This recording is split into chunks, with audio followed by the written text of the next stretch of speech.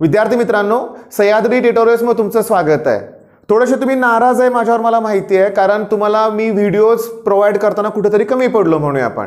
पण याचं कारण मी तुम्हाला सांगणार आहे. जो माझा मुलगा व्हिडिओ एडिट करतो सगळं करतो त्याला अचानक गावाला जावं लागलं आहे आणि त्याच्यामुळं काय झालं की माझ्याकडं व्हिडिओ एडिट करायलाच कोण नव्हतं. पण मी तुम्हाला सांगू का क्लासमधल्याच एका मुलानं हा व्हिडिओ एडिट केला आहे आणि आम्ही आता तुम्हाला व्हिडिओ प्रोव्हाइड करतोय. पण मी तुम्हाला सांगू का मुलांचे कॉमेंट्स असे पण होते की जुने व्हिडिओ देऊ नका ओके नवीन व्हिडिओज प्रोव्हाइड करा. मी नवीनच व्हिडिओ तुम्हाला प्रोव्हाइड करणार आहे. पण रिक्वेस्ट एवढी आहे की बिलकुल माझ्यावर नाराज होऊ नका. व्हिडिओ तुम्हाला रात्री उशीरपर्यंत मिळणार आहेत आजच मिळणार आहेत लक्षात घ्या. पण मेन पॉईंट काय की तुम्हाला एवढं आवडतंय याचं रिझन काय की तुम्हाला ते समजतंय. ह्यात मला आनंद पण आहे बरं का लक्षात घ्या. आता होतं काय बघा की फिजिक्सचे न्यूमेरिकल म्हटलं तर मुलांना जमत नाहीत. ह्याच्या मागचं रिझन आहे हे पुस्तक ह्या जे न्यूमरिकल्स त्यांनी सॉल्व्ह करून दिलेत विनाकारण ते न्यूमरिकल्स त्यांनी टफ करून ठेवलेत. त्याची गरजच नाही इतकं टफ करून ठेवलंय सुरुवात करूया बघा आपण. ड्युअल नेचर हा टॉपिक आपण घेतोय. मी पहिल्यांदा फॉर्म्युला एक्सप्लेन करणार आहे पण त्याच्या अगोदर मी तुम्हाला काय एक्सप्लेन करणार आहे की एक न्यूमेरिकल त्यांनी पुस्तकात कसं सॉल्व्ह करून दिलं त्याचा मी फोटो आता शेअर केला एक्झाम्पल फोर्टीन पॉईंट सिक्सचा आणि मी तुम्हाला सॉल्व्ह करून देतो आणि मग तुम्हाला कळेल की हे किती सोपं आहे ते. बघा. आणि म्हणून मी तुम्हाला बऱ्याच वेळा सांगितलंय की तुम्ही व्हिडिओ बघा. तुम्ही फॉर्म्युले लिहून काढा. म्हणजे मी पहिलं न्यूमेरिकल हे जेव्हा एक्सप्लेन करेल पण तुम्ही व्हिडिओ वाटल्यास पॉज करा आणि तुम्हाला हा प्रॉब्लेम समजतोय का बघा.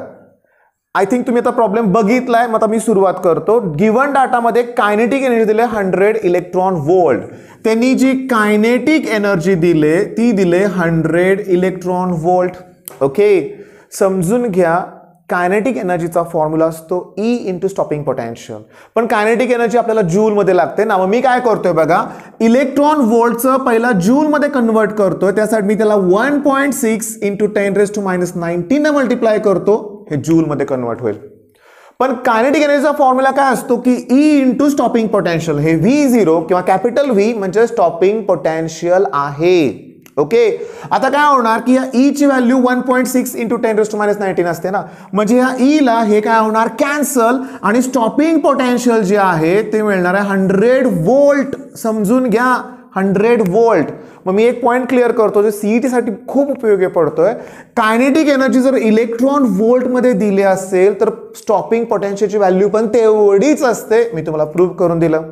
आता या प्रॉब्लेममध्ये आपल्याला ना त्यांनी डी ब्रॉगलीज वेवलेंथ विचारले. काय विचारले? डी ब्रॉगलीज वेवलेंथ मग डी ब्रॉगलीज वेवलेंथचा फॉर्म्युला तुम्हाला येतो जर तुम्हाला स्टॉपिंग पोटेन्शियल माहीत असेल तर. तो आहे twelve point twenty eight upon रूटमध्ये stopping potential ॲमस्ट्रॉममध्ये ओके आता समजून घ्या मग twelve point twenty eight which value hundred आहे पुट केली हंड्रेडचं स्क्वेअर रूट टेन येणार. मग ट्वेल्व पॉईंट ट्वेंटी एटला टेननं डिवाइड करा one point two two eight angstrom unit हे युनिट आहे. आन्सर चेक करा. हे फायनल आन्सर आहे. आता पुस्तकातलं पण आन्सर चेक करा. तेच दिलेलं आहे. समजून घ्या. वन पॉईंट टू आता मला हा हे हार्ड नंबर नको आहे. मग अलीकडचं मला एकनं वाढवावं लागेल ना? मग वन पॉईंट ट्वेंटी थ्री ॲमस्ट्रॉमचं मला मीटर करायचं असेल तर ten raise to minus ten मग चेक करा. आन्सर बरोबर आहे. त्यामुळे व्हिडिओच्या सुरुवातीला मी जस्ट तुम्हाला एक न्यूमेरिकल घेऊन दाखवलं. सोपे आहेत. प्रॉब्लेम खूप खूप सोपे आहेत. पण तुम्हाला सांगू का तेवढं क्विक तुम्हाला जमलं पाहिजे. नीटचे पेपर तिला तीन चार वर्षातले काढून बघा. डी ब्रॉगलीज वेवलेंथवरती नेहमी नेहमीच प्रॉब्लेम आहेत. मग आता व्हिडिओच्या सुरुवातीला मी एक प्रॉब्लेम तुम्हाला एक्सप्लेन केला. मग तसे पूर्ण फिजिक्समधले सगळ्याच टॉपिकचे न्यूमेरिकल्स इझी आहेत. पण मी तुम्हाला सजेशन कर देतोय की तुमची थिअरी परफेक्ट असेल तर तुम्ही प्रॉब्लेम वळा. नाही तर टिपिकल थोड्या टॉपिकचे न्यूमेरिकल्स केले तरी चालतील बाळांनो. सगळंच होत असेल तर करायचं आहे नाहीतर जेवढं जमेल तेवढं परफेक्ट करायचं आहे रिव्हिजन महत्त्वाचे आहे. ठीक आहे मग आता मी काय करतोय हा प्रॉब्लेम तुम्ही लिहून घेतला असेलच. मी आता या टॉपिकमधले थोडेसे फॉर्म्युले तुम्हाला एक्सप्लेन करतोय. लक्ष द्या डुएल नेचरमध्ये डुएल नेचर म्हणलं की फोटो इलेक्ट्रिक इफेक्ट इम्पॉर्टंट आहे. समजा हे फोटोसेन्सिटिव्ह मेटल आहे. फोटोसेन्सिटिव्ह म्हणजे काय? बघा सांगतो. जेव्हा याच्यावर लाइट इन्सिडंट होते या लाईटमध्ये फोटॉन असतात त्याची एनर्जी असते एच म्यू म्यू म्हणजे फ्रिक्वेन्सी त्याचा फॉर्म्युला सी अपॉन वेवलेंथ असतो.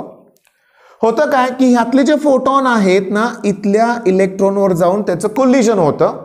हा इलेक्ट्रॉन त्या फोटॉनची एनर्जी ॲब्सॉर्ब करून घेतो आणि इथून बाहेर पडतो आणि तो एक कायनेटिक एनर्जी गेन करतो. आता समजून घ्या कायनेटिक एनर्जी त्यानं गेन केली. आता ही जी कायनेटिक एनर्जी आहे त्याची मॅक्सिमम कायनेटिक एनर्जी इथून बाहेर पडण्यासाठी पण एनर्जी लागणार आहे त्याला आपण वर्क फंक्शन म्हणणार आहे. पण ह्या दोघांची ॲडिशन ह्या एनर्जी एवढे असणार आहे ना? आपण इथं हंड्रेड पर्सेंट एनर्जी ॲब्सॉर्ब केली असं कन्सिडर करणार आहे. मग झालं काय बघा की हे वर्क फंक्शन आणि ही मॅक्सिमम कायनेटिक एनर्जी म्हणजे ह्या दोन एनर्जीची जी ॲडिशन आहे that equals to energy of photon असणार आहे. एच म्यू हे प्लस फक्त मी तिकडे मायनस करतोय. तुमच्या डोळ्यासमोर नेहमी ही डायग्राम आली पाहिजे. मग तुम्हाला फॉर्म्युला तयार होणार आहे. पाठ करायची पण गरज नाही आहे मग मी तुम्हाला सांगतो मग मॅक्सिमम कायनॅटिक एनर्जीचा फॉर्म्युला येणार. H mu minus phi zero आणि हे जे फाय झिरो आहे ते वर्क फंक्शन आहे. आता तुम्हाला मी सांगू का? तुम्ही जर ट्वेंटी ट्वेंटी वनचा पेपर काढून बघा सेक्शन डी मध्ये आय थिंक किंवा सेक्शन सी हुडका तुम्हाला वर्क फंक्शनवरचं न्यूमेरिकल मिळेल. आता वर्क फंक्शन म्हणजे काय सांगतो? ही तुमची लाइट इन्सिडेंट होते बरं का. ओके पण तिची एनर्जी लो आहे. आणि ती एनर्जीमुळं ह्याच्यापेक्षाही लो आहे. मग फोटोलिटिक इमिशन होईल का? नाही. म्हणजे फोटोलिटिक इमिशनसाठी ही जी इन्सिडेंट लाईटची फ्रिक्वेन्सी आहे ना ती सर्टन मिनिमम फ्रिक्वेन्सी म्हणजे थ्रिशोल्ड फ्रिक्वेन्सीपेक्षा जास्त पाहिजे. कशापेक्षा? थ्रिशोल्डपेक्षा आणि त्याची व्हॅल्यू इथे येते. म्हणजे हा जो वर्क फंक्शन आहे त्याचा फॉर्म्युला असतो Planck's constant into threshold frequency okay त्याच्यानंतर अजून मग फॉर्म्युला काय असणार आहे? थ्रीशोल्ड वेव्ह लेंथ मग तुम्हाला ना मला वाटतंय बोर्डच्या न्यूमेरिकलमध्ये वर्क फंक्शन दिलं होतं. पण वर्क फंक्शन देताना ते इलेक्ट्रॉन वोल्टमध्ये देणार. आता हे इम्पॉर्टंट नोट डाऊन करून ठेवा की वन इलेक्ट्रॉन वोल्टचं जूलमध्ये कन्वर्ट करणं अतिशय गरजेचं आहे. त्याची व्हॅल्यू आहे one point six into ten raise to minus nineteen joule म्हणजे वन इलेक्ट इलेक्ट्रॉन व्होल्ट जी व्हॅल्यू दिले त्याला यानं मल्टिप्लाय करायचं. पण एक क्लिअरली सांगतो. बघा हा फॉर्म्युला बॉक्समध्ये समजा एनर्जी ऑफ फोटॉन तुम्हाला इलेक्ट्रॉन वोल्टमध्येच दिले वर्क फंक्शन पण इलेक्ट्रॉन वोल्टमध्येच दिलंय. दोघांचं युनिट सेम आहे. तुम्ही सबस्ट्रॅक्शन करून पटकन तुम्हाला कायनेटिक एनर्जी मिळेल पण ती पण इलेक्ट्रॉन वोल्टमध्येच मिळेल. आणि मगाच्या न्यूमेरिकलमध्ये बघितलं की कायनेटिक एनर्जी जी आहे इलेक्ट्रॉन वोल्टमध्ये तेच असतं स्टॉपिंग पोटेन्शियल मग मी बाजूला आहेच ऑलरेडी स्क्रीनशॉट काढून घ्या. एवढेच तर फॉर्म्युले आहेत. आणि मगाशी जे घेतलं डी ब्रॉगलीज ते मी आता डिटेलमध्ये एक्सप्लेन करणार आहे. पण आय थिंक एवढे फॉर्म्युले तुमच्या लक्षात आले असतील. मग प्रॉब्लेम वाचल्यानंतर प्रॉब्लेम वाचल्यानंतर तुम्हाला काय जमलं पाहिजे माहिती आहे का? की तो फॉ कुठला फॉर्म्युला वापरायचा यातलं हे कळालं पाहिजे. फक्त वर्क फंक्शनच विचारलं असेल तर हे दोन फॉर्म्युले वापरू लागतील. आता होतं काय? मेन कंडिशन सांगतो. तुम्हाला इन्सिडेंट लाईटची फ्रिक्वेन्सी पण देतील. आणि तुम्हाला वर्क फंक्शन पण देतील. मग तुम्ही फाइंड आउट काय करणार? थ्रीशोल्ड फ्रिक्वेन्सी आणि जर इन्सिडंट लाईटची फ्रिक्वेन्सी थ्रीशोल्डपेक्षा जास्त असेल तरच फोटो इलेक्ट्रिक इमिशन होणार. जर इन्सिडेंट लाईटची वेवलेंथ कमी पाहिजे थ्रीशोल्ड तरच फोटो इलेक्ट्रिक इमिशन होणार. कारण हे इन्व्हर्सली आणि हे डायरेक्टली आहे. हे समजून घ्या. आता पुस्तकातला एक प्रॉब्लेम अजून मी घेतो बरं का लक्षात घ्या. कारण तो फॉर्म्युला आपण अगोदरच एक्सप्लेन केलेला आहे. मग एक्झाम्पल फोर्टीन पॉईंट फोर बघा. फोर्टीन पॉईंट फोरचा photo page number three hundred and seventeen वरती आहे इलेक्ट्रॉन्सना स्टॉपिंग पोटेन्शियलच दिलं लक्षात घ्या. वन ट्वेंटी वोल्ट आणि डी ब्रॉगलीज वेवलेंथ विचारलेली आहे. मग डी ब्रॉगलीज वेवलेंथचा फॉर्म्युला आहे ट्वेल्व पॉईंट ट्वेंटी एट तुमच्या पुस्तकात दिलं आहे जुन्यात बघितलं तर ट्वेल्व पॉईंट ट्वेंटी सेवन मिळेल तुम्हाला. अपॉन स्टॉपिंग पोटेन्शियल ॲमस्ट्रॉममध्ये पण जर मी one point two two eight लिहिलं अपॉन रूट व्ही तर ती व्हॅल्यू नॅनोमीटरमध्ये असते. मग नॅनोमीटरचा ॲमस्ट्रॉन टेननं मल्टिप्लाय केले लक्षात घेण्याचा प्रयत्न करा. ओके म्हणजे one nanometre equals to ten angstrom unit okay बर. आता हे मगाचं जे न्यूमेरिकल आहे ते तर तुम्हाला जमणारच आहे. फक्त तुम्हाला काय करायचं आहे तो रूटमध्ये वन ट्वेंटी व्हॅल्यू पुट करायची होती. आता वन ट्वेंटीचं स्क्वेअर रूट ते जमलं पाहिजे. पण मी तुम्हाला सांगू का? कदाचित एक्झाममध्ये अशा व्हॅल्यू देतील ज्याचं स्क्वेअर रूट पटकन जमेल. नीटमध्ये टेन थाउजंड वोल्ट दिलं होतं त्याचं square root hundred hundred value देतात ज्याचं स्क्वेअर रूट टेन आता मेन पॉईंट काय आहे की वन ट्वेंटीचं स्क्वेअर रूट मग काढणार कसं? ओके तर क्लिअरली सांगतो लक्ष द्या. बघा तुम्हाला वन ट्वेंटीचं स्क्वेअर रूट काढायचं ना दोन मेथड आहेत. एक तर वन ट्वेंटीचा लॉग बघा त्याला टू न डिवाइड करा आणि जे येईल त्याचा अँटी लॉग बघा. बस. तेच करा या स्टेजला म्हणतोय मी. दुसरी मेथड काय असते माहिती आहे का? मी याला हंड्रेडनं डिवाइड आणि हंड्रेडनं मल्टिप्लाय करतो. याला हंड्रेडनं डिवाइड केलं की वन पॉईंट टू येईल हंड्रेडनं मल्टिप्लाय करतो. आता हंड्रेडचं स्क्वेअर रूट टेन येणार आणि वन पॉईंट टूचा झिरो बघायचा ना लॉक टेबलमध्ये मग पटकन आन्सर मिळणार आहे. मग तीही मेथड बरोबर आहे.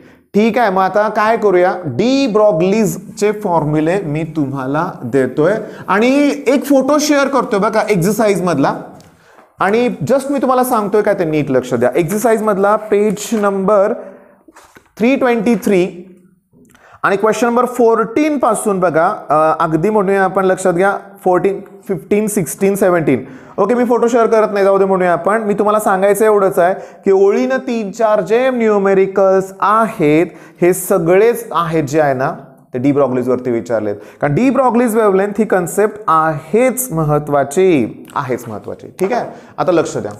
डी ब्रॉगलीज वेवलेंथचा फॉर्म्युला आहे एच अपॉन एम व्ही आता एम इंटू वेलॉसिटी म्हणजेच लिनियर मोमेंटम मी तुम्हाला सांगू का? तुम्ही यूट्यूबवर सर्च करा डी ब्रॉगलीज वेवलेंथ आणि पुढे टाईप करा सह्याद्री ट्युटोरियल्स तुम्हाला दोन ते तीन व्हिडिओ मिळतील ज्यात मी डिटेलमध्ये डेरिवेशन्स पण दिलेत. या व्हिडिओमध्ये मी डायरेक्ट फॉर्म्युले प्लीज एक्सप्लेन करणार बरं का तुम्हाला. ॲक्च्युली न्यूमेरिकल्स आपण घेतलेत पण जरा फॉर्म्युले एक्सप्लेन करतोय. जर मला मास आणि विलॉसिटी माहीत असेल तर de Broglie's wavelength find out करता येते. मी आता फोटो शेअर करत नाहीये इथं. ओके डी ब्रॉगलीज वेवलेंथ दिले मास दिले आणि स्पीड विचारले. ऑब्व्हियसली डी ब्रॉगलीज वेवलेंथ दिले मास दिले आणि मग व्ही फाइंड आउट करायला विचारले. स्ट्रेट फॉरवर्ड न्यूमेरिकल असणार आहेत. डी ब्रॉगलीज असा शब्द पेपू पेपरमध्ये दिसला ना तुम्हाला तर हे फॉर्म्युले आत्ताचे तुम्ही आठवणार आहे लक्षात घ्या. आता हे काय लिहिलं वाचा? मास इंटू वेलॉसिटी बरोबर आहे? पण आपल्याला ना कायनेटिक एनर्जीचा फॉर्म्युला असतो half M V square okay आता मी काय करतो? कायनेटिक एनर्जीसाठी ई के असं नोटेशन वापरतो. आता मी या टू ने इकडे मल्टिप्लाय करतोय क्रॉस मल्टिशन मासनं दोन्ही बाजूला मल्टिप्लाय करणार आहे मी मासनं तर इथं एम स्क्वेअर व्ही स्क्वेअर येईल. मी दोन्ही बाजूला मासनं मल्टिप्लाय केलंय.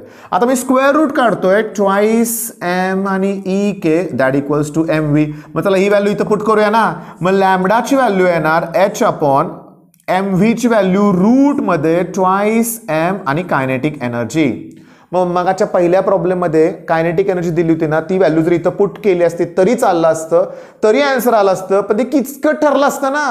कुठं स्क्वेअर रूट काढत बसतंय? पहिल्या प्रॉब्लेममध्ये आपण घेतलेल्या. पण मी तुम्हाला सांगू का याच्यात अजून बदल जो होणार आहे म्हणजे हा पण फॉर्म्युला बरोबरच आहे हा फॉर्म्युला बरोबर आहे हा बरोबर आहे. पण डी ब्रॉगलेटचा अजून एक फॉर्म्युला घ्यायचा म्हटलं तर आपण ही जी कायनेटिक एनर्जी त्याची व्हॅल्यू पुट करूया ई इंटू स्टॉपिंग पोटॅन्शियल आता जर इलेक्ट्रॉनचा विचार केला तर हे सगळे कॉन्स्टंट आहेत. आणि त्या कॉन्स्टंटच्या व्हॅल्यू सगळ्या पुट केल्या फक्त स्टॉपिंग पोटेन्शियल जर आपण ॲक्सिलेटेड व्होल्टेज वेगळं ठेवलं तर इथं जे येणार आहे ते one point two two eight पण जेव्हा वन पॉईंट म्हणाल ती व्हॅल्यू नॅनोमीटरमध्ये असते. आणि जेव्हा तुम्ही ट्वेल्व पॉईंट घ्याल ती व्हॅल्यू होणार आहे ॲमस्ट्रॉममध्ये चला मग पटकन हे फॉर्म्युले लिहून घ्या.